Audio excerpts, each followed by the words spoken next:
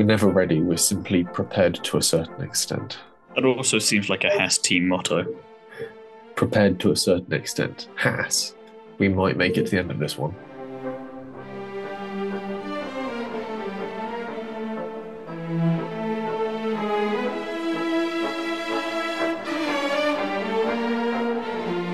Hello and welcome to the Undercut Podcast. I'm your host Ellie May Taylor. We're back to review preview, sorry, this weekend's Austrian Grand Prix. Joining me as ever, I have the soft bed linen to my Eider down pillow. I don't know what Eider down is. Eider, eider down. Yeah, Eider like uh, down from an eider duck. It's really soft and very sort of squishy. We don't promote animal abuse on this podcast, but we'll carry on. Jesse Billington. and the itchy sleeping bag to my warm blanket, Thiemo Albers Daly. How are you both? I think I weirdly alright. got out of that one better. Yeah, I, well, no, she's the eider down, eider down pillow. So I mean, I'm not the one that is made out of animal. Yeah, but she's so- accused you of animal cruelty straight off the bat, where I'm just some cheap sleeping bag. So I think I'm getting away with this just a little bit better. Yeah, I probably should have proofread that one when I wrote it this morning. Oh yeah, and it, uh, all that besides, I'm doing all right. Um, we can fix this in the edit. Perhaps I'll just give it an entirely new introduction of my own making. Um, yeah, fine. Ready to look ahead to the Austrian Grand Prix. We've already got so far off track. Thiemo, how are you? Oh, I'm I'm much better now. That I'm suddenly feeling cheered up.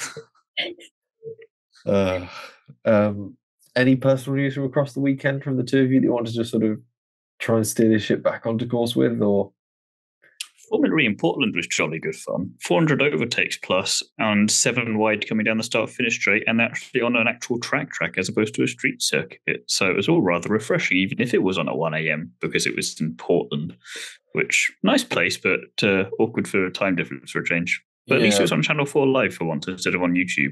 well, they could fit it onto Channel Four Live because there's nothing. There's nothing on at 1 a.m.. Yeah, they can they can bump the scheduling, I suppose. Yeah, because it's a circuit. I gotta take the wins where I can with them. It's weird that they've relegated to YouTube quite as much as they have, have, but yeah, it's a separate thing. and because IndyCar used the circuit as well, they were getting pretty close to the. IndyCar mm-hmm. top speeds, but it still looks dog shit on the TV. It still looks slow and slovenly, and equally, Yeah, but the racing is really good, and when you see them all, twenty-two of them coming, well, twenty-one if we don't count down Dan Ticktum, twenty-one of them coming down the start finish straight, all kind of pretty bunched up together, still nice close racing. It's what you want from a single-seater motorsport. Cough, hint, hint. Formula One, cough, hint, hint, cough. Um, so it's it was very enjoyable. It's a very good season so far. yeah. Um, I did have something else to follow up that. I've completely forgotten what it was now. Um, oh, Oh, yeah, well, that was it. It's it, it. It was full of a weird crime this week as well, wasn't it? There was the um, weird Yes, RFID yes. tag reader that one team had snuck into pit entry, so they could see what tires other teams were running and sort out like pit strategy and clear air strategy, which is which was denied by the drivers and kind of but then you're like well yes or no but also you're caught so you must have done something so maybe just i mean you got in the points anyway so i feel like it didn't really impact them too much yeah. And did, did, did they have like plausible deniability? Like, would they be like, no, that's not something we did, as in it's something they had no, no prior knowledge of. So I don't know. It's it's a weird one. It's Formula E being Formula E in its own weird little way. Um, we'll move on. i was doing what i could just to get you out of the hole that you put yourself in at the top of the podcast that everyone hasn't forgotten about Yeah, but what you've done there is you've just taken everything and just pushed it straight back into that hole by mentioning it. The trick is when you do something like sort of build your way out of a hole slowly, is to then simply not mention the hole. I'm still learning this whole podcasting malarkey i guess because i'm not there yet. Yeah, it's plain to see. We'll move on to what the hell has happened, and we'll start with some news that Alpine is flush with cash. A 200 million euro investment from the investor group, comprised of Otro Capital, Redbird Capital Partners, and Maximum Effort Investments, have acquired a 24% stake in the French outfit. Alpine now says this has valued their company at 900 million euros. I believe it's the last of those listed companies, Maximum Effort Investments, that belongs to the Deadpool star Ryan Reynolds. In an online statement, the company says Maximum Effort makes movies, TV series, content, and cocktails for the personal amusement of Hollywood star Ryan Reynolds, which is a very Ryan Reynolds way of putting things in its entirety. Um, it's the same overarching group that's worked with the Dallas Cowboys, the NFL, Toulouse FC, and notably Wrexham FC. This influx of cash is crucial for reinvesting in the team and accelerating their mountain climber plan, which sees them aim to catch the top teams in the terms of in terms of the sort of state of the art facilities and equipment, and they hope that success will follow. It's worth noting that this sort of buyout or this sort of 24% stake only mm-hmm. focuses on the F1 Alpine outfit and has nothing to do with the Renault engine division, which is in Viry and is owned entirely by the Renault group. And it's this Renault group in which the French state owns a 15% share. So unfortunately, there's no fun way of equating Deadpool to Republique Francais, but hey, it's still interesting. I can't remember what we were talking about the other day, Jesse, but we were lit. Oh, no, I can't remember. Yeah, we were literally saying the other day how Ryan Reynolds or like a rich Canadian or American should come into F1. But I think it was to invest in our podcast. I think he's sort of kind of gone one step further and decided to have an actual stake in an F1 team. I've kind of used my powers again, but haven't quite got full control of them yet. Yeah, I definitely recall you mentioning that we ought to have like a sort of sugar daddy for the podcast so we can afford mm-hmm. microphones and soundboards and something that's not Zoom to record on. And you sort of triggered that with some sort of premonition, but the you weren't quite specific enough with how you aimed it. You just went, money into Formula One, but sort of missed the podcast bit and specifically us. But hey, we roll with what we've got. Well, going off that though, if we're going to channel Ellie May's powers a bit more specifically, why not get Will Arnett to fund us? Because his podcast didn't exactly go to us, so maybe he funds us. We can bring him on as a guest occasionally because he can then bring Danny Ric with him. And we can kind of get in that way. Oh, this was his Gogglebox F1 thing, wasn't it? He did with Danny Ric through the Canadian Grand Prix. Did mm. I didn't watch that? Did it go down well? I don't know if anyone watched it, but it seemed like Daniel had a good time. So I think that's all that matters at the end of the day. As long as Daniel's happy. We'll touch on Daniel a bit later, but first there's some news coming out of Audi. Yes. An Audi an Audi? Oh, this podcast is going terribly. We've got it off to a strong start. It's fine. power on through. It'll get once we get up to temperature, it'll be fine. Right. We'll start again. Audi announced Swiss racing driver Neel Jani as their simulator driver as they take a step towards producing power units for F1 come the 2026 revolution. Jani has previously been a test and reserve driver for Red Bull, and he won the 2016 WEC season with Porsche as well as that year's 24 Hours of Le Mans. So he's a decent driver and the sensible head you want on your sim, and he already has a previous relationship with Andreas Seidl, as Seidl was the LMP1 Porsche boss at the same time Jani was racing for the team. Since the end of 2020, Audi have been working away on a single cylinder testbed and at the moment are mainly focused on a fundamental concept, question, concept questions with high relevance to performance, which suggests that this is going to be technical. I can't speak which suggests that this is going to be technologically Audi would technology Audi will develop for F1. I will get there. But but would look but we're looking to possibly utilize in other series or even hypercars on the road, think Mercedes Project One or Aston Martin Valkyrie projects. Audi are on track to have full 1.6 litre turbo hybrid systems up and running on their dyno before the year is out. And crucially, as they aren't inside the sport, they are able to work without a cost cap and could spend as much money as possible developing a powertrain ahead of time with no financial hindrance. This eagerness and intent, intent that Audi are going to have built up when they take over the Sauber team in 2026 is going to ultimately have some allure for drivers looking for the looking to the team looking to the future in sport, and it appears Seidl looks to use the contacts he's already made to build a team around him. So is it becoming more and more likely that he will either have Carlos Sainz or Lando Norris in his team? Lando Norris is definitely one that's been sort of hot shoed for this Audi sort of Audi Sauber team in the future. I think there's a lot of hype for him and Seidel coming back together, and I think there's definitely something worth thinking about there. He's had a decent run with McLaren, but it's certainly not gotten any better over time. So if he was wise, he'd be looking to move elsewhere. And again, what Audi have done with obviously bringing in a seasoned test and reserve driver, someone they know they can rely on, or they've been working with their engines. They've done like a small single cylinder test element and then built it up to a 1.6. Now they're working towards the full hybrid system. Everything they're doing smacks of competence and just being very Vorsprung durch Technik. And that's exactly what you really want when you're looking to join an F1 team is something that just reeks of competence. Also, maybe they get Carlos Sainz in there as well because he was saying today, I think it was that he's a bit unsure of his future at the moment. He doesn't like that. So maybe he does get an extension with Ferrari. But if they can't turn things around in the next couple of years, maybe you get Norris and Sainz back there if they can't get either Mick or Vettel there because they obviously want a German driver as their Audi. But if they can't get that, maybe this is the next best thing. Norris and Sainz were good teammates together at McLaren. So maybe we get we get Carl Lando back. I don't think Carl Lando's off the table. When it comes to Vettel coming back, I think that's a big ask. Yeah. He's made Or Nico Hulkenberg to keep Ellie May happy and he moves from Haas to, to Audi. Well, neither Carlos Sainz or Nico Hulkenberg have a contract for next year, do they?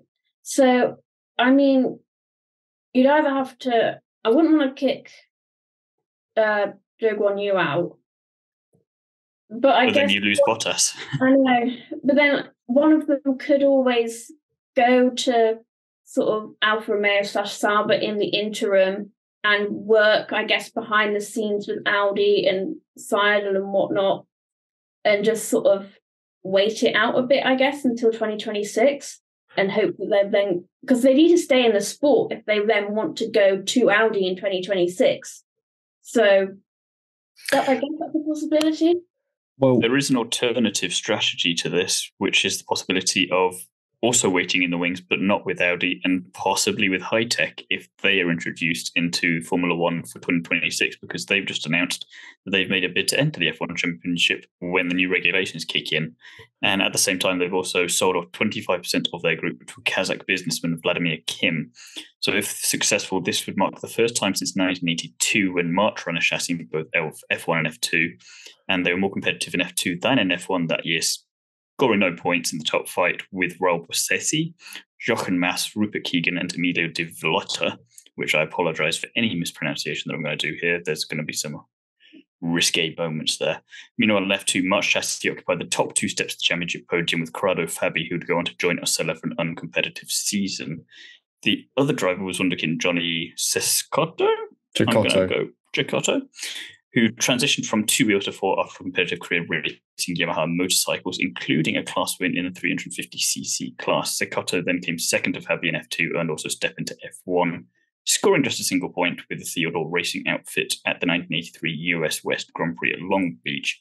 But this is also just quite interesting generally from the Kazakh perspective in terms of how that plays into motorsport a bit more because as we will touch upon a little bit when we do our feeder series with you, Jesse, next week after Austria, they've got a MotoGP race this year on a five-year contract, Kazakhstan. They had a female F4 driver in the kind of feeder series Southeast Asian Championship, I think, for a few years, but she that was 2019, and then it's kind of she's gone to esports since then. So it's kind of interesting that Kazakhstan's kind of slowly creeping back in a bit. Hitech's had some I think Russian backing before, which obviously you can't really have too much of that now because it's a little bit of a area. Um, but it's interesting that the stands are maybe getting into that, and if this is kind of an interesting loophole for, for that money to come in. But also, Hitech makes a lot of sense for an F1 team because they've got the F2 and the F3 presence. So maybe if you're if you are maybe your Bottas and you know that you're not going to maybe get something for 2026, or you're a driver that can only get a two year contract extension with whoever you're with, and you're maybe not past your prime, but you're not at the beginning of your career either, and you're looking to stay in F1, but the seats are going to be a bit tricky to get for 26. Maybe this is the option there for an experienced driver. the option is surely there. It really depends whether or not they can get this together and make this move up. At the same time, we've seen Andretti struggling to get into it, and who would be a big name and certainly someone viable uh, financially for F1 as a business to join. And you can begin to wonder just how likely it is we'll see an 11th team or possibly even a 12th team come to the field. And I'd like to see it happen. And again, it's been an interesting history since the last time we saw a team run, but in both F1 and F2. But yeah, the Vladimir Kim is and, an and interesting F3 one. to be fair, and I think F1 Academy there as well, which you'd have a straight path then. You do a very the straight path, yeah. But I was trying to find sort of an overlap between sort of F1 and the last time it had a team that matched up with a feeder hmm. series. The first one I sort of stumbled across was um, F2 back in '82 when it was one of the last times it wasn't a spec series. But yeah, it's it there's there's an interesting element to it. Vladimir Kim is the interesting part of this because the way he's earned his money, it's I believe it's chemicals and mining, and it has strong The Russian usual kind of ties stuff. usual kind of stuff from that neck of the woods. And yeah, it's Russian money, Russian associated businesses are still very much a persona non grata at this point in time. So it's going to be interesting Maybe it's how. done with the idea of Andretti, you're in because it's common sense and we should just stop being stupid about it and just say yes to you and Hitech. If you can distance yourself sufficiently Yeah, if you can prove uh, you're not wholly by sort of 2026, we'll give you the stamp 2025 ish, maybe, just Yeah. so that you can start working on it with the proviso that you will get through. Just make sure you do the stuff. There'll be a proviso. When it comes to the driver lineup, though, obviously Bottas is contracted until 2024, so he'll have a seat in 2024. Ocon also contracted to 24. Gasly is on a multi-year deal. Alonso is on a multi-year deal at Aston Martin. Both Sainz and Leclerc are on multi-year contracts. Mag- oh no, until 24. Kevin Magnussen multi-year contract. Norris till 25. Oscar Piastri multi-year. George Russell multi-year. Verstappen till 28. Sergio Perez till 24, and Albon on a multi-year. So this leaves open a seat next to Bottas at Alfa Romeo in 2024, both the Alpha Tauri seats next year, the seat next to Alonso at Aston Martin, the seat next to Kevin Magnussen at Haas, the seat next to George Russell at Mercedes, and the seat next to Albon at Williams. So it's But also, you could throw a lot of that out the window as well if one driver gets an opportunity that they think that's worth the risk. Buy me out. I think yeah, the the problem that teams have with another team coming in is well Christian Horner was saying that the obviously the FIA give them a certain they have a certain pot of money that they then distribute out to the teams. If a sec if an, if another team comes in, their pot obviously gets smaller in what in terms of what money they get. the prize pot is essentially diminished Yeah. by a tenth or an eleventh, rather. So that's what they have a problem with. If the pot got bigger when a new team came in, they would have no problem really with a team coming in. It's all down to money. Mm. The pot getting bigger is something that um, was floated by Andretti. They said, look, we'd be up for stumping up for the first three years or so an additional fee to not dilute the pot so much, which I think all the other teams were like, oh, yeah, if you're going to do that, we're not too fussed about it. We'll move on to um, the uh, sort of funnish fact from Ellie May. Since the start of the 20 of 2022, both Haas drivers have had a front row start, whilst Lewis Hamilton hasn't. Equally, neither Haas driver was on the 2022 grid before the 2022 season started. it's kind of an interesting one to look at that. So if you sort of wind the clock back to essentially pre-season testing in 2022, you've got neither Hulkenberg nor Magnussen in the field. And Hamilton's just come off the back of a season where he's narrowly lost out to Max Verstappen. And then all of a sudden, you fast forward to this point in time. Hamilton hasn't had a front row start since, and both Haas drivers have. One of whom didn't know who'd be ra- well, two of them really didn't know they'd be racing for the team until very late in the late in the day. It's it's interesting to see how that's developed over time. And equally, if you were the sort of Twitterati that loves to sort of proclaim, "Oh, X driver is washed," this is a perfect statistic to use to sort of claim that Hamilton is past his prime. I think it'd be a rich one to try and sort of use, but it's an interesting statistic nonetheless. Correlation does not mean causation and so on. So, but it's definitely one to remember. I guess it's better to use it as a fact that you should always go out and get a good lap time in the first time you go out in case a chaotic event happens a red flag, rain, anything. Yeah, this is more an argument for a good banker lap than anything else, really. It's, uh, Other than Hamilton being past his prime, which I think the performances over the past, certainly in Canada, would suggest that he is by no means past his prime. Um, if we're also running on the fact that Alonso is driving like he's in his prime, if Hamilton's able to keep pace with that, that's by no means a mean standard. Speaking of being in your prime, though, it's something that relates very much to this next point, which is Daniel Ricciardo is a potential candidate for Alpha Tauri next season, which must be galling news if you're Ayumu Iwasa or Liam Lawson. Uh, his other options are likely to be Williams or Haas, unlikely uh, picks as both are running towards the back of the field with limited chance of picking up. Alpha Tauri, meanwhile, could see a reincarnation next season as they will be allowed to share more parts with their sister cars at Red Bull. If Danny Ric can prove he's back to operating on the level he was when racing for Red Bull, then it's not to rule him out of moving up to the top team once if he spends a year with Alpha Tauri. And like we just previously alluded to, Alpha Tauri has both seats open for 2024. Tsunoda's not confirmed, Iwasa's not confirmed, Lawson's not confirmed, and neither is De Vries, which really does sort of bring Danny Ric back into the scope just a little bit. He's got a tyre test coming up at Silverstone with Red Bull. And if he's able to prove at that point in time that he's still got that drive, that precision, and that ability to do Danny Ric things in an F1 car, then it could throw him back into the limelight for that spot.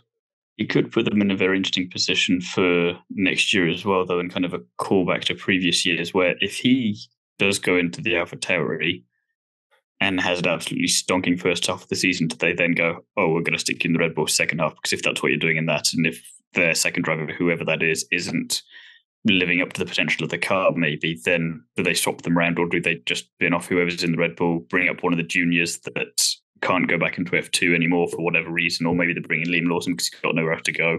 It kind of gets them in that Alex Albon, Danny Kvyat, Max Verstappen weird kind of area that they had a few years ago where it's kind of merry-go-round. And yep. what do you do that? Or do you just stick him in the Red Bull straight away after this test? Because, like you say, it's a bit of a slap in the face if you're Liam Lawson or Iwasa and any of the other drivers looking to come up for 2025, because then you're potentially on the back burner because Lawson and Iwasa are still waiting to get into that car. And that's assuming that De Vries and Tsunoda aren't still there next year.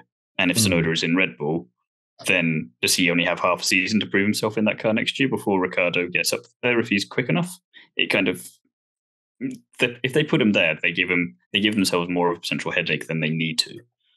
This is the problem with too many having too many decent drivers floating around aiming for essentially one team and you end up with this sort of situation of yeah, we could put Danny Ric into the Alpha Tauri if Perez doesn't perform in 2024. Do we swap them? Do we bump Perez down? Or do we simply keep Danny Ric on the sidelines? And if Perez isn't performing next year, just simply put him into the reserve role and put Danny Ric back in. That way, we don't have to fettle with ruining two junior careers in the Alpha Tauri seats of, for argument's sake, Tsunoda and Lawson. It, it, it's got so many different ways of going, and every time they add another junior driver to that mix, it becomes more and more of a headache. All they need is Enzo Fittipaldi to have an absolute blinder for the rest of the season. All of a sudden, they've got a Red Bull junior driver that's at the top end of the F2 season. And then you're going, great. It's like you're so, going to Super Formula. Yeah, you're super, going to Super Formula. You're going to Super Formula. You're going to Super Formula. Everyone's going to Super Formula until we figure out what the hell is going on here. And meanwhile, it would, it would genuinely be at, easier if Max just decided I'm bored, I'll come back in 26, and they just got rid of Perez and had two seats open at Red Bull. It's unlikely to happen, but it would be a lot easier for them. It would be, but then you've got to put an inexperienced driver up into that Red Bull. No, you just put Ricciardo and Tsunoda in there, and then you yeah, Ricciardo and Tsunoda, yeah. Lawson and Iwasa and AlphaTauri, bish bash bosh. Yeah, and then you can get rid of anyone in AlphaTauri after 24 because you're Red Bull and you give people one year before you kick them out. Although they didn't do that with Tsunoda, which really suggests they want to stick around with this guy. And he's been racing this season. Which is prove. why they put him to Red Bull. So there you go. It's yeah. Fine. But he'd only have a season to do, prove himself in that. No, race. I'm saying the AlphaTauri drivers next year would only have a season uh, because of all the other juniors coming up because they can't all go to Super Formula all the time or DTM. Well, they can. Well, they, they can, can, but it, it's not why they're there.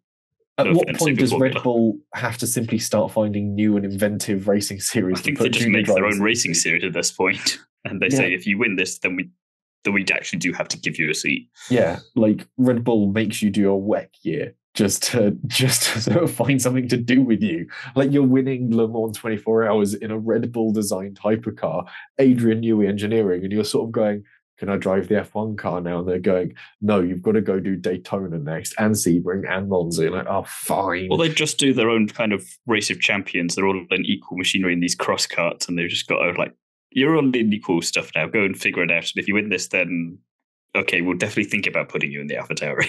Or like Red Bull goes over to IndyCar and goes, well, I'm sure we can suss this out. You, you, and you get in the IndyCar. And Zach, you don't have enough sponsors on that IndyCar. Do you want Red Bull as a sponsor? We'll stick a driver in there.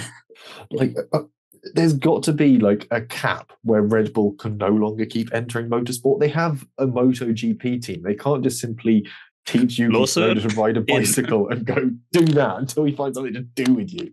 Like there's there's a limit. And I feel that possibly that limit is the Red Bull like um sky race thing they do with stunt planes. I don't feel comfortable with putting Yuki Tsunoda in one of those. I think that's the line, but everything up to that point, Don't don't put him in the plane with Ricciardo on it because you know Ricciardo's just going to push him out. I mean, you, you did Bull mind soap the box. Red Bull soapbox race now we're talking. winner gets the F1 seat. Yeah. Mind you, speaking of Yuki Tsunoda and planes, there's that brilliant footage of him in a plane over the Austrian lakes. Mm, in so from last Bull year, that's what I was thinking stuff. of. Yeah, he was terrified. Uh, I think Gasly was much happier about it either. Um, anyway, we'll move on from that to Well, I just can I Before say something? Thanks. I just want to say, I mean, it's famous last words, but I can't see Danny Ric going to AlphaTauri only because he said in an interview a while back, which we covered on this podcast, that he didn't want just any seat. He's certainly hungry for a seat next year, and I think he's pretty certain he will one, but I don't think he it's going to be in a lower team. I think he thinks he's better than that, and he doesn't want to have to restart his career right down at the other end of the field that he wants to be in. I think he's trying to get that Red Bull seat. No, I'd agree, and that's why I don't think Haas or Williams are a realistic option for the same reason that they weren't an option for this year. He's not there to just be trundling around, just making up the numbers. He wants to be fighting, and Max does want him in that second seat in a lot of ways. He said he's very open to that in his kind of Max Verstappen coy, not so coy way of going about answering that question. So I think as much as Max is enjoying his dominance at the moment, he would appreciate a bit more of a challenge, and he's clearly not getting that from Perez. And Ricciardo, at least for the first year of the contract, will be grateful to be back in F1, so might play the team game a bit more to Mm. help Max. And he'll fight him, but not so much to the detriment of the team like Mercedes in 2016, for example.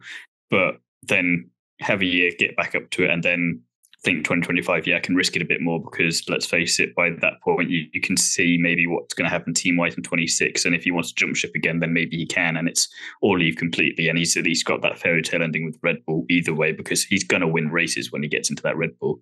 So going into the Alpha Tauri, you think if you have that for a full year next year to then go into Red Bull for 25, it's because again, what if the regulations then do have a massive impact and Red Bull have a Mercedes kind of car from 22 and they're back there again? It's kind of unbefitting of a driver of Ricciardo's caliber, and he's thinking, oh no, not again.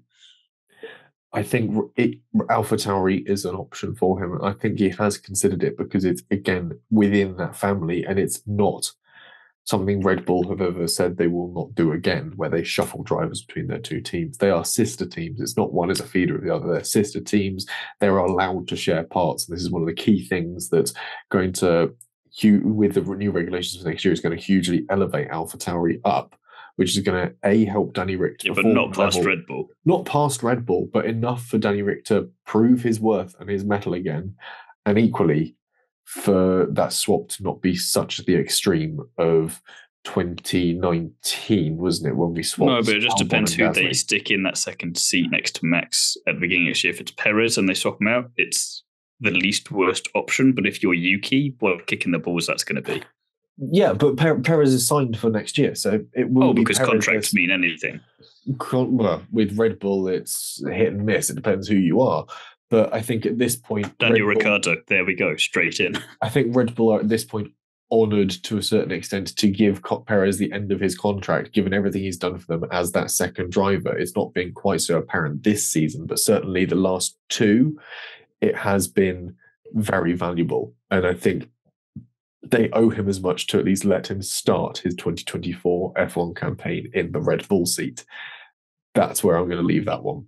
I have a question. Yeah. you say that AlphaTauri are now allowed to share more parts with Red Bull. Why is that? I believe it's there's a new wave of regulations that are coming in for next year that mean that there's going to be an increased um, scope for sharing parts between can um, essentially engine suppliers and their um, sort of customer teams. So you're going to have greater span of things from not just engines and gearboxes. It's going to be things like aero components that work around them, and that's going to, for certainly Red Bull and Alpha Tauri, help with regards to things like um, anyone who buys Mercedes engine. It really depends on how much your um, supplier team wants to help you. But for Red Bull, it's very much in their scope to ensure that their sister team is doing pretty well because essentially that's where they're going to be picking their drivers from. That's where the other half of their marketing money goes. It'd be great if it saw some returns. And if that means telling them exactly how to install their engines, gearboxes, how to plumb their exhaust lines, how to get the most out of the back end of their car, then it's sort of half the headache already dealt with. And I believe that's where we're going to see this possible closing up not necessarily Red Bull moving down, but Alpha Tauri maybe taking a step forward that could be easily overlooked.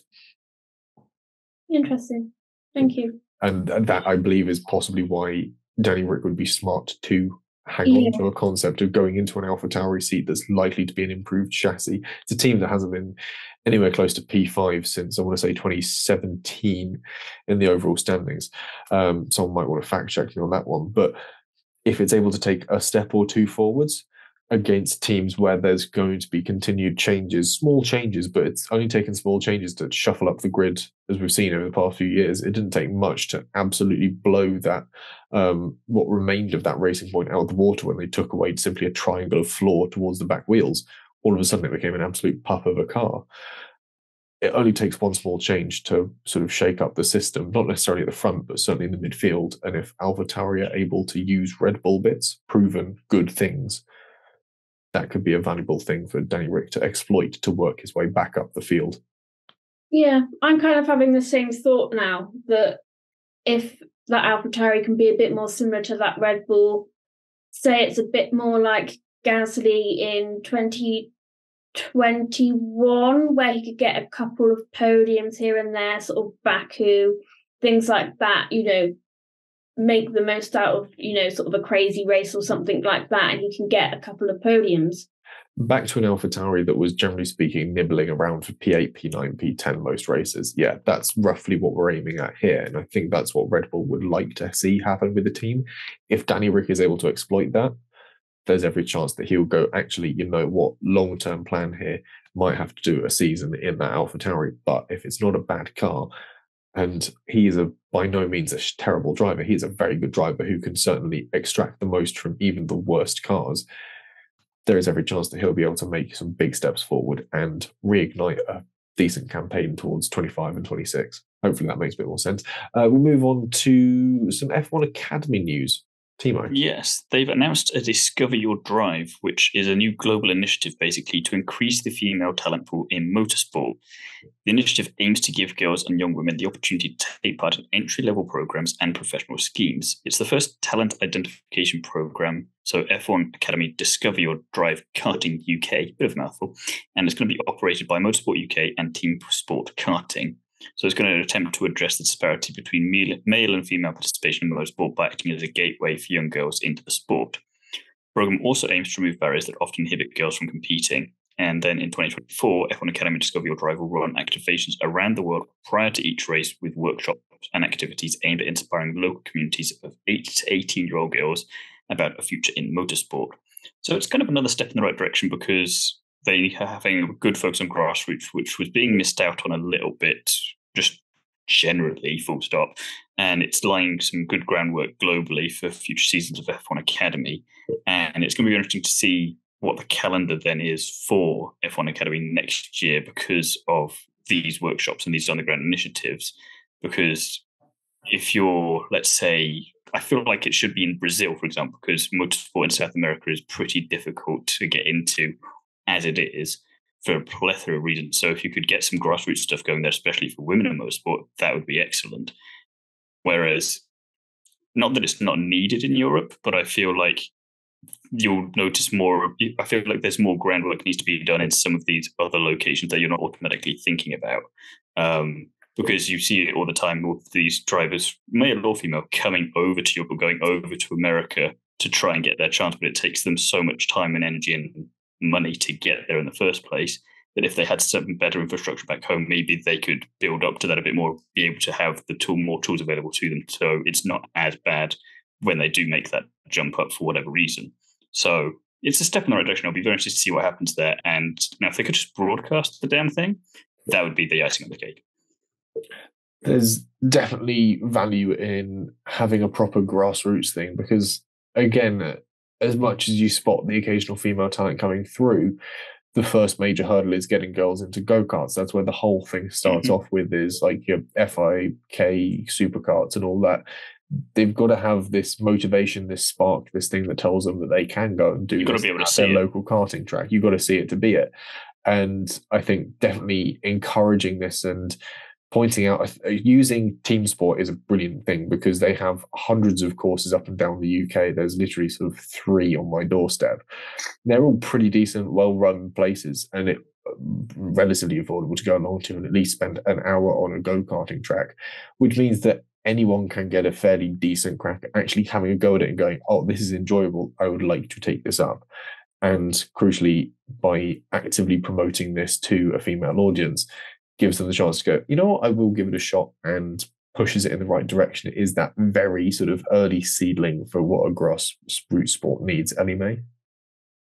Um, just well, it's going on from that. Um, I've got some kind of stats that's just within the UK. As you said, team sport are helping with the initiative, as their statistics show that around 45,000 young girls visit their track every year, but only 146 girls aged 8 to 12 progress into competition out of 2,275. As a percentage, that's only 6.5%, which I'm hoping that my maths is correct on that. I mean, with how the day is going, it's probably not. But anyway, it's you could say that it's part of the problem slash reason is why we don't see as many female racers and it's because there is a smaller group starting out. So statistically you're going to see more boys progress further and if young girls can see the opportunities that are open to them they're going to be more inclined to take them as long as there is the support and funding to get them there I know that the pilot program is currently taking place at just six of their venues across England, those being Eastleigh, Leicester, Manchester, Trafford Park, Mitcham, Newcastle, and Reading. And you essentially, they just need to turn up, have a go, and they'll be scouted by one of their chief instructors. And the initiative, if the initiative is successful, it will be rolled out to, I think, all venues.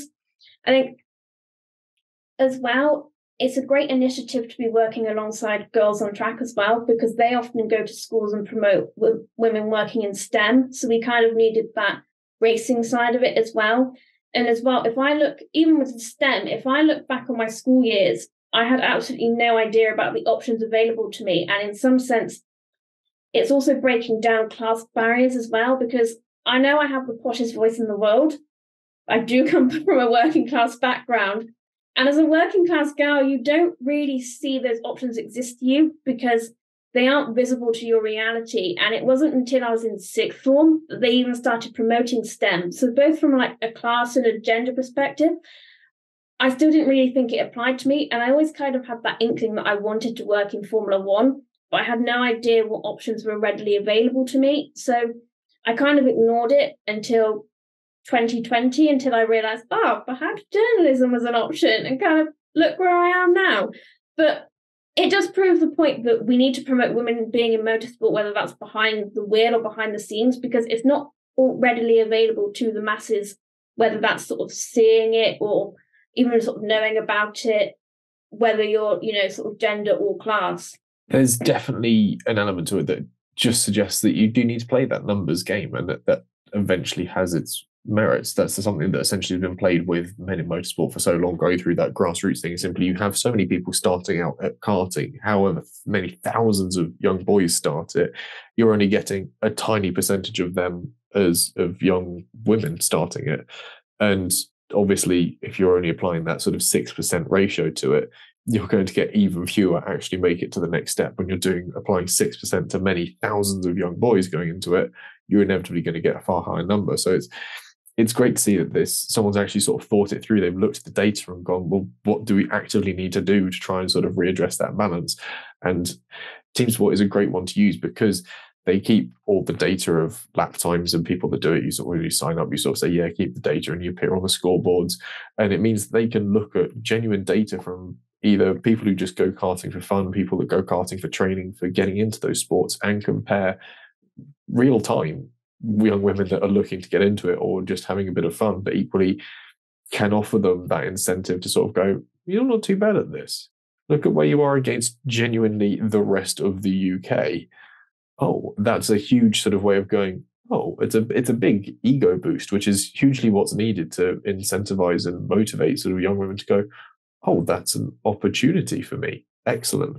And again, the sort of the affordability, the broad scope of locations mean that it's something that does have, like you said, this ability to transcend some level of class barrier and make it very much something that's applicable to everyone if they're interested. And it's it's great to see F1 Academy, despite at the moment being very, very much a small thing that's barely even broadcast, has already shown this idea of growth and that it wants to have this greater impact. And it's taken the early work done by the now defunct W series and gone, great. It's proven that that sort of, if people can see it, they want to be it mentality how do we take that and advance it to the next step? Where can we implement this? How can we make sure that when we implement this, we're putting it in the right places in front of the right people for it to actually have a positive benefit? And it shows that the people that are working behind the scenes on F1 Academy are arguably putting in a far more legwork than many people give them credit for just because it's not shown on the telly, which is a fair enough criticism. It'd be great to actually see the action. It's good racing, but there is a lot more going on behind the scenes than I think it's easy to give credit for. And certainly the efforts that the Discover Your Drive campaign are putting together really suggest that this could be something important to keep an eye on through the rest of the season. One last thing I will just say on F1 Academy there is that they were in Zandvoort at the weekend for their latest round, and they kind of played a clever hand that we didn't you wouldn't necessarily realize unless you were following other the motorsport but DTM I think was on there at the same weekend or some kind of GT uh, racing. GP. No, no, this was like endurance racing cars were there. Um, I'm pretty sure, and obviously you've got the crowd coming mainly for that, and it was acting as a support series to it, and it worked quite well because they had these autograph sessions with the F1 Academy drivers, and a couple of the teams were saying they kind of they always bring a stack of them because they know that people from the local area will come and watch the race because they'll know it's on, and so they might might need a few. But a couple of teams did genuinely run out because they weren't expecting quite such a high number of people to come and interact with everything there. So it's shown that these people, if you put it on as a support category for other stuff and don't just have it by itself and don't really tell anyone and close the doors off to it, then you will just naturally get fans there. So I thought that was quite a nice overlap thing to happen there and something to happen organically that they managed to get some fans that way. So even though they weren't broadcasting it live, it was a nice workaround. And uh, MotoGP was at Assen, the other Dutch circuit. That was why. I was say, I'm pretty sure Fabienne Wohlwend and Celia Martin don't do motorbikes at the moment. So no, I thought it was weird that they would have essentially F1 Academy as a sort of warm up act to MotoGP. Yeah, yeah. MotoGP has in itself three feeder series, but yeah, it's it, it's proof that this sort of in-person visibility is also having some level of impact. Still gutted I didn't spend 20 quid to go and watch it in Spain when I could have done, but hey. We'll move on to just a very, very short nib of news, and that's Heikki Kovalainen has had a child. Uh, that's it. Our, our wishes go out to him and his partner and the health of their child. Congratulations, Heikki. I think that's that's pretty much it. Why have we decided to promote Heikki. You know, Kimi Räikkönen's just had another ice cube. Should we congratulate him too? We can do. I figured we need like a small sort of like women's gossip section to the paper. I, I figured that'd be a useful thing of having like a little sort of hello F1 version in somewhere tucked in here. And I don't know, this was something I just spotted on Twitter earlier today. Whilst we're just doing last bits of news, then one thing that is relevant to Austria. no, no, no, no. Um, not that I'm aware of that is related to Austria is that after the not so great events happening in the crowd last year at the Austrian Grand Prix. I'm pretty sure Grid Clique and I think it's Females of Motorsport. I think there might be one other. I'll double check this, but they're setting up WhatsApp groups for any women that are attending the Grand Prix so they can all be in a group together and keep each other abreast of where's like a good place to go and kind of have a a wide connection no matter where you are on track and to kind of have each other's backs a bit which it's annoying that that's necessary and that they have to do that and formula one themselves aren't really doing anything on that as far as i'm aware and if they have they've not really made much song and dance about it but in case anyone listening is going to go to austria and wanted this as an option i'm sure one of the three of us can put that in the description somewhere and we'll stick it on social media and share that about it but Yeah, I mean, if you go on, I think Female Motorsports Instagram page, I think if you go on any of the Instagram pages, they've got links to it as well. So yeah, there's definitely we'll try and sort of put some links to all those services out there in the description of this video when it drops. Um, so we'll look ahead to the Austrian Grand Prix. Although first of all, Ellie May's fun fact kind of history lesson is back because she remembered to write it this week. yes, and I hope this goes well, seeing as I haven't been able to speak for this entire podcast, but we'll have a go. The first one is sort of a quiz question. Six Austrians have made their Grand Prix debut at their home race. Can you name three of them? I won't let you name. I mean, I guess you probably could get four of them. I don't know whether you'll get all six, so I'll say three. Um, Marko Lauda, Rindt. Uh, I'm trying to think of other Austrian F1 drivers. Uh, Scheckter? Oh no, was Yep. he South African? Wasn't he? I think. Um, just a bit off uh, have I got those three correct though? you have got those three correct. Okay. Um, trying to think of any more Austrian F1 Hang on, who did you say you said Lauda, Lauda, um, Marko Rindt and Marko. Mass Jochen Mass Nope. nope Helmut Marko and Niki Lauda actually debuted on the same year, Hmm. 1971. It was the same year Helmut Marko won Le Mans in a 917 for Martini Racing. Everyone forgets that Helmut Marko actually did racing. Like he's not just some old guy that floats around at, at Red Bull. You can't look it up on the internet, Jesse. I'm not looking it up on the internet. yes you are yes, I am. I'm, I'm curious because I can't think of any more Austrian racing drivers. That was more. you'll than- get, you'll kick yourself maybe for one of them, but the other two are. But I've got a list, but I don't have when they started in front of me. Um, so at this just tell us Ellie May don't let him don't put let me, out him of win my, by put me out of my misery. Uh, Dieter Quester in 1974. I don't know whether that's how you say his name or not. That was his Dieter. only F1 F1 race that he competed in.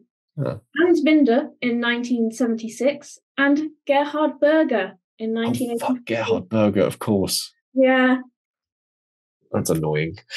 Should have got Berger, but oh well. yeah. Oh, anyway, the track in its original form opened up in 1961, and Helmut Marko actually won the first support race that took place at Österreich Ring. That's the best Austrian you'll probably get from me, as it was then called, in a Chevrolet Camaro. And whilst the main event was called the Austrian Grand Prix, it was actually for sports cars, and Kurt Ahrens and Jo Siffert won the race in a 917 Porsche. I would love to go on about a 917 Porsche, but Thiemo would glaze over and fall asleep. And this is a fun fact about the Austrian Grand Prix. So I will carry on with. why would I glaze over and fall asleep about that Because you hate history. Don't deny Yeah, it. You I hate love it history. I just don't like it when you bits. drone on about it, Jesse. You just make you make me fall asleep when you talk about history. Anyone, literally anyone else. Anyway, the first Formula One Grand, Prix came here a year later in 1970, but the sports relationship with the track wasn't always smooth sailing. Around the time the track was built, the aim was to have one of the fastest tracks in Europe, one that could rival Hockenheim and Spa-Francorchamps, which meant that the track fell out of favour with the sport in the mid 1980s as it was considered to be dangerous and highly unsuitable, and the track was therefore abandoned. The track then made a resurgence in the 90s, and the layout was changed to accommodate the more modern F1 Formula One car, and it was renamed the A1 Ring. And hosted, hosted F1 for six years between 97 and 2003 before being abandoned again and partially demolished. In 2005, Red Bull purchased the track to use it as a test circuit and training facility, but it ended up being transformed into the circuit as we know it today, and it was reintroduced to Formula One calendar in 2014, and we have raced there ever since under the new name Red Bull Ring. The highest number of poles a driver has got here is three, and it's shared by four drivers Niki Lauda, Rene Arnoux. Fun fact about Rene Arnoux is that I saw him at Goodwood and I told Jesse this at the classic car, the London Classic Car Show, and he went, "Isn't he dead?" So then we had to look up. I just kind of assumed that Arnoux had died. I don't know why. anyway, the other two are now. I'm sorry, by the way. Yeah. If if he listens to this. the other two are Nelson Piquet and more recently Valtteri Bottas. But it's actually Alain Prost and Max Verstappen who have the most wins here with three, unless you count the Styrian Grand Prix, which brings Max's total up to four. Because of COVID, F1 actually raced Austria four times in the space of one year between 2020 and 2021. The 2020 season obviously started late, and we had a double header here on July the 5th and July the 12th in 2020. And then, due to the Turkish Grand Prix being postponed in 2021, F1 held another double header here on June 27th and July 4th. So if you want to count the sprints too, it means in some ways we've always had two races here since 2020, and this year will be no different. Austrian overload. I can't remember if you can still rent a NASCAR to drive around. Red Two Bull. very different thoughts there. You can, you can. It's still on their website. Excellent. Because you can go to the Red Bull Ring and do um like driving experiences. You can mm. have the NASCAR race taxi Red Bull Ring at 449 euros. And I don't know if you get to drive it or if you simply get passengered in it. Given the fact that it says taxi, I assume you get passengered You in it. get the American from the first season of the Grand Tour to drive you around. Yeah. But you can you can get loads of really interesting cars to drive around there. you can also take your own car. You can. You, they do regular track days. That was it. Anyway, mate, don't don't be silly. Jesse's cars won't make it that far. Uh, It might with the new exhaust. yeah, the six hundred fifty pound exhaust or however much I was pissing spent on the damn thing. Uh, I hope it doesn't now. Six thousand four hundred twenty-six pounds buys you a th- uh, Renault three point five seat um, around the uh, Red Bull Ring. Um, we're getting sidetracked. Anyway, we'll move ahead to uh, the return of the F one Sprint weekend in Austria. We've had two sprints before at the Red Bull Ring. Do we do we like it in Austria? Do we think that it's going to work this year because we've got the new layout where we obviously have FP1 qualifying for the race and then the Saturday is just dedicated to the sprint? Do we think that's going to be beneficial here? I don't think it's gonna be. It's gonna be the one of the least worst ones. Yeah, that's the best way of phrasing it, I think. Brazil and Austria are the only two that have had it every year so far, and it's not been awful. It's not been great, but it's not been awful. It has Thought- worked. I Yeah, remember last year it was mainly uh, Mick Schumacher, wasn't it? Defending Yeah. the heart out Hmm. and Ferrari dominating. yeah. Ferrari had an interestingly good weekend in Austria last year. Yeah, It's going to until a mark a year since Charles Leclerc's last win in for. So uh, that's also my fun fact to bring in there. It Also means we're not far away from uh, Carlos Sainz's last win in F1 either. Just Ferraris generally. I remember being really depressed after the Austrian Grand Prix because Carlos's car set on fire. Hmm. Not Let's that- not say anything about that because you'll jinx him anyway. Yeah. We'll move on from premonitions with regards to the sprint and Ferrari's catching fire to what weather we can expect. And well, at the time of writing, Thursday is looking pretty decent for track walks and preemptive setups and for doing all the usual technical stuff that you get done on a Thursday. 24 degrees Celsius and a gentle breeze with a 1% chance of rain. Friday follows much the same pattern, though a touch warmer, 25 degrees Celsius, but with a bit less cloud cover, it'll likely feel hotter and we could see warmer track surface temperatures. Tire degradation isn't the highest on the calendar, but it's a bit above average, taking into account the sprint and the juggled up running. Getting a good run in the only available practice session to suss out strategies will be key, as will getting running orders for qualifying, um, where a warm track is likely to rub it in quickly, possibly giving us elevated levels of track evolution. Saturday and the sprint is a lot cooler than the days prior and likely to be peppered with thunderstorms and showers. 60% chance of rain is uh, what the weather forecast is suggesting for Saturday, and 22 degrees Celsius are the order of the day. Sunday sees a return to better conditions, but with the chance of a green track once more, uh, 20 degrees Celsius and plenty of cloud cover will keep temperatures down and could open up some stretched strategies, ideal for teams who have a car that can be kind on its tyres. So, which on track battles should we look out for? Off the back of Canada, very little has been shaken up. Red Bull look to have the best package still, but Aston Martin's Alonso reckons they could get closer as the season draws on. The tighter track here will limit Red Bull's straight line dominance, but it's hardly like they're lacking cornering ability either. If he's on his game, Stroll could close up to the top of the field where it seems his car ought to be, but we keep saying that every race and have yet to be proven so. Mercedes have drawn themselves ahead of Ferrari, but if the Scuderia qualify well, they could have a fight on their hands for a podium position this weekend. Russell will be looking to make up for a calamitous Canadian Grand Prix and retake his championship place over Sainz. Alpine sit in a bit of a no man's land, still adrift of the fighting four ahead, but leagues up from McLaren. A quiet and tidy weekend, Spielberg will help cement their positions on the charts. McLaren, meanwhile, have been on the podium here before with Norris. If they bring a car that's suited to the possibly changing conditions this weekend, we could see them put up a good challenge against the Enstone based outfit.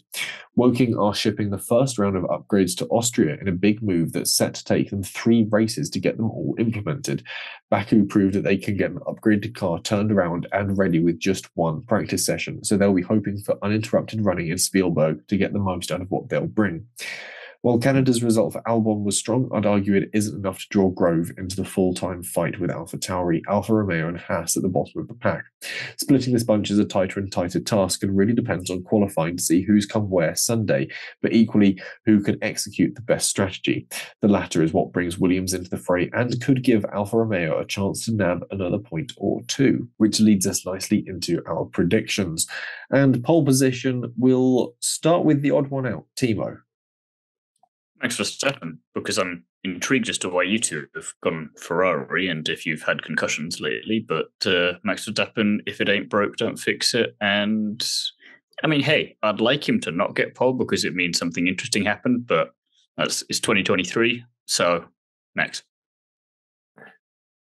Ellie May, we have both gone for Charles Leclerc. I'm interested to hear your reasoning behind it. Um, I think seeing what they could do last week in the race, their car was quick. I think if they kind of get it all together and get it working, they could be up there. I think they actually had one of the fastest cars. They just started, they just had a poor qualifying session. They were helped a lot last week as well by Stroll being Stroll and George taking himself out, though. And equally, decent strategy in the hands of a safety car. So there was a lot of circumstances around it. Nonetheless, I which also, granted in a sprint weekend you might get a lot of that. So yeah, yeah. But as well, at the start of the race, Carlos Sainz was able to overtake Sergio Perez, and he looked faster. Who couldn't last week though? Yeah, but it, it is really, a He's in that Red Yeah, but Perez is in it. It's a it's a multi pronged thing, and that's the thing with Ferrari. You can never tell which one of them is going to, which element to them having a good weekend is going to go wrong. Is it Perez is going to drive well? Is it they're going to forget how to do strategy? There's going to be any number of things. Nonetheless, I still reckon we could see a Charles Leclerc pole position. I think it's it's not unheard of. It's likely. To be fair, if you do get a Charles Leclerc pole, my win is my winning prediction is still very much up for par given the conversion rate. Yes, yeah. I mean, uh, Charles Leclerc pole pretty much at this point guarantees. It, help, it helps me a lot. it helps you and I along with our podium predictions. Thiemo, we'll let you kick off with your podium again. It's a reminder of last time out's kind of top three because it's going to be Verstappen, Alonso, and Hamilton. That's that's the rule I've done for myself this year. It's the one I'm going to keep doing, and I I can't wait for the day where we get something more complicated than what we got at Monaco. the time we get something more complicated than Monaco, and it's probably 2024, and I've probably stopped using this rule by then. But you know, yeah, you'll have picked some other strange rule. Um, I've gone a similar route with my podium: Verstappen win, Alonso second, but Leclerc third, I reckon that while the Ferrari is going to be good, it's not going to be beating Max Verstappen and Fernando Alonso good. Ellie May, you reckon otherwise? I've gone for a Charles Leclerc win, Carlos Sainz second, Max Verstappen third. Why? Are you okay? I think we've learned throughout this podcast no, Fair. but they did have a really good race last year for some reason. So I was like, well, maybe some Because of it's that gone mag- so well for them since then.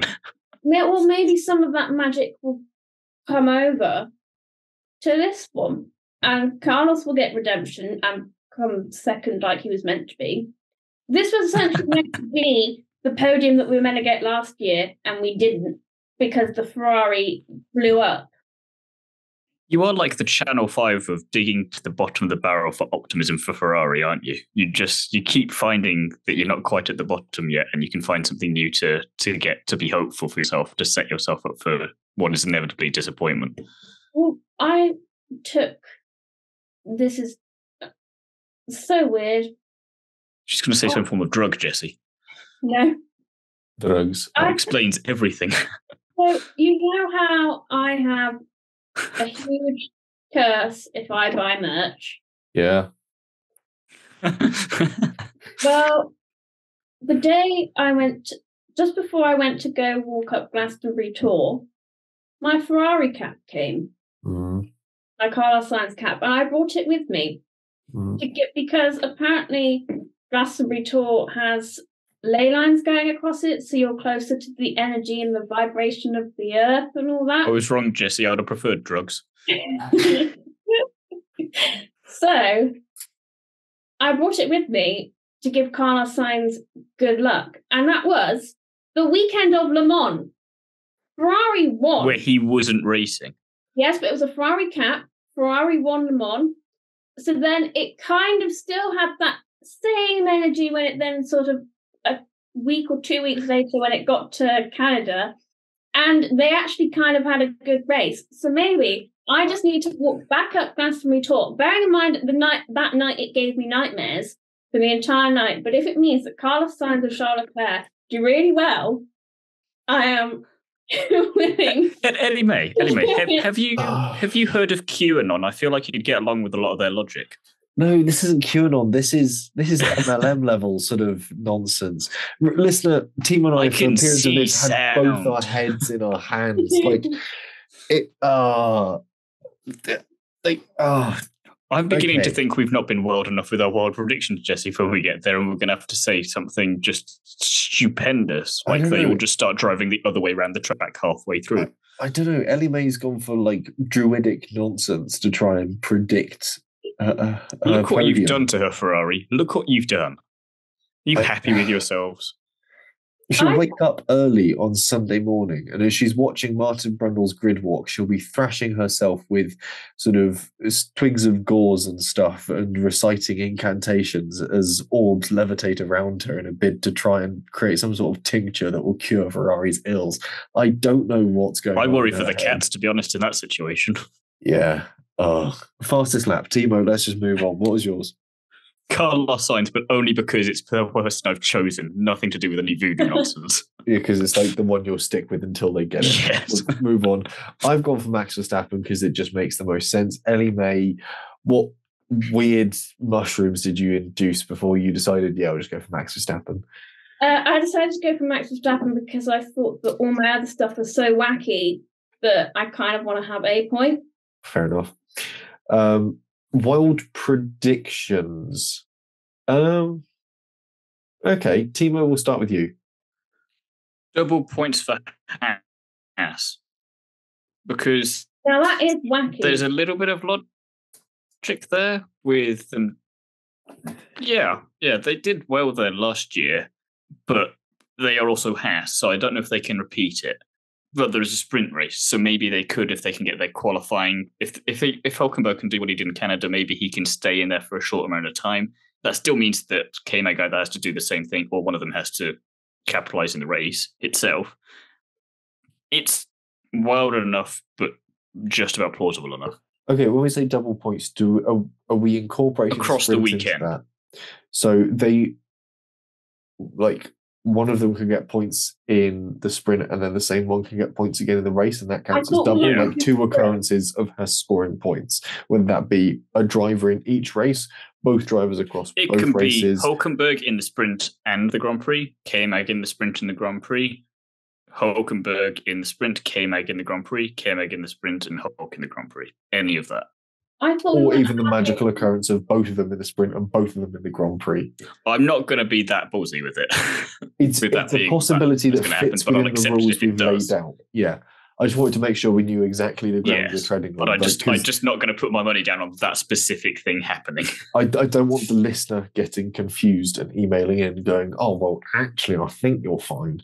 When all of a Oh, you, sudden. you think they've recovered from Ellie May's stuff yet? So that they're even comprehending anything we're saying here? they might have had to like pause, walk away, and come back to it at this point. I'm assuming that they've gone away, they've had a glass of water, they've had a sit, a long stare. I- ironically, got some smelling salts to, to cleanse themselves sort out of it. Bring themselves back round, perhaps had a biscuit, maybe a cup of tea, and just gone.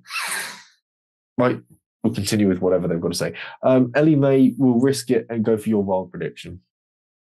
Alpine top five finish, and seeing as Thiemo's allowed to have that across, the, s- with, uh, include the sprint, I'm including a top five finish in either Good luck. race. Yeah, I- I will follow in exactly the same rule of argument then. I predict there is going to be a Williams points finish. At some point, they will finish in the points this Heck. race. All three of us could be right, and we'd actually have a decent Grand Prix weekend. Uh, Yeah. Imagine as well, Jesse, if it both has in both races, both Williams in both races, and an Alpine in both races. It would really make a mess. Between between now and the review, I want you to go and work out the statistical probability of that happening. I've already done maths today, and you can see what it's done to my hair. It's gone mad. That's going to be something in the realm of like an 800 to 1, probably even higher. I remember the odds on the um, Gasly Sainz Stroll podium being something like 430. yes, you weren't to you weren't 1. well that day, were you? Yeah, no, but I, I didn't make that bid, but that was like No, someone you put, just made the someone prediction. Put money on, no, someone put money on it and won. That was the ironic thing. Someone in Sweden, I think it was, put like a couple of euro on Oh, okay. No, podium. yeah, I meant when you actually made the prediction this year, though, not when it actually happened. Oh yeah, no. I made that prediction recently, and I, I don't know. I think I was just deprived of some basic. Ellie May human sent you something in the post, and you shouldn't have opened it. Yeah, Yeah, sounds like having the same problems as me. I opened a box of Ellie May's ley lines, and it got everywhere. I don't know. Um, sounds bit dodge. we can move on completely from that and finish the podcast. That's all we've got time for on this week's episode.